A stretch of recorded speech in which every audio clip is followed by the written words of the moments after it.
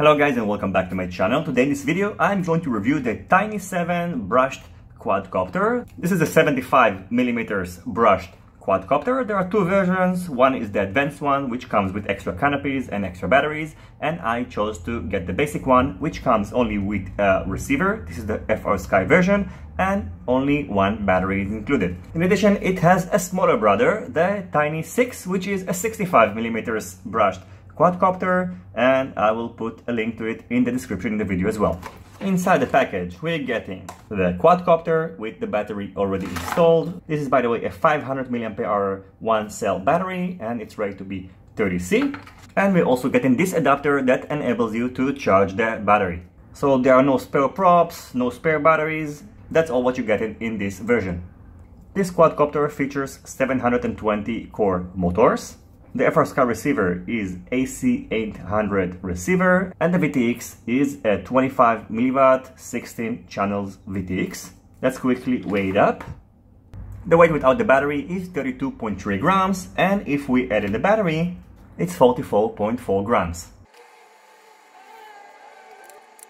Under the hood, we've got this AC800 FrSky D8 receiver and the board is an SP Racing F3 board with a built-in 25 milliwatt 16 channels VTX. Now, in case you're looking for the USB port, it is located right underneath the battery. So you can see here we have a micro USB port.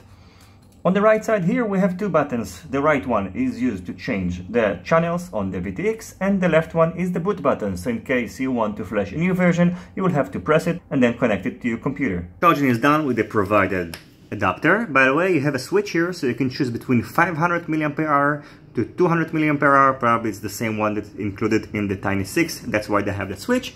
Then just plug it to a USB port and you can see now the green indicator is on and when the charging process will be finished this indicator will be turned off. In order to bind the Tiny 7 to your Taranis, first put your Taranis on D8 mode, channels 1 to 8, then you can just connect a battery to the quadcopter and you need to wait for the AC800 receiver to start flashing.